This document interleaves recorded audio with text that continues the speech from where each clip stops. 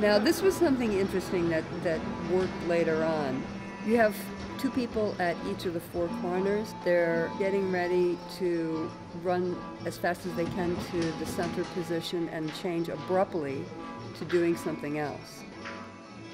This idea I did um, before, and I made a, made better commands, and it worked really well. It was very surprising, which movement can be.